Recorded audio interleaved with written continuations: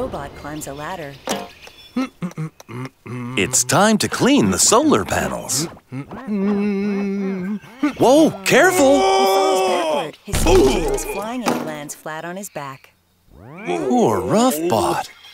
He'll need help. To the Robotik Lab. Bubo plays with a tiny robot. Huh? Bubo has a new friend. Beka takes a look. It's a Beetlebot. Look at your wings! They're so cool! Beetlebot flies onto Bubo's head. Beetlebot likes Bubo.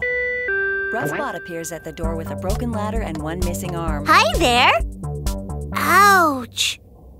How can I help you? Mojo He drops the ladder and walks in.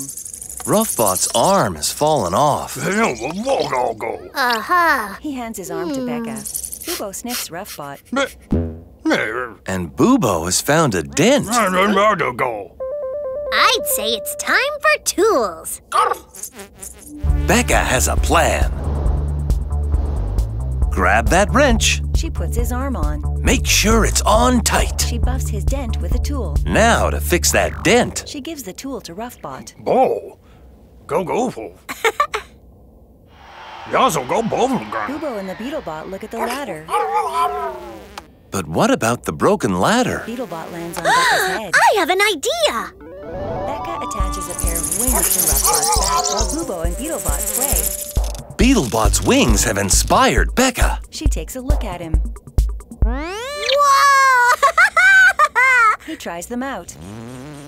Mo. Oh. buffing tool on his back, too. Now hmm. Roughbot can fly. Hope it works out. Bye! Roughbot flies over to the solar panel and uses the tool on his back to clean them. Hmm, no more risky ladders. Super solution, Beka.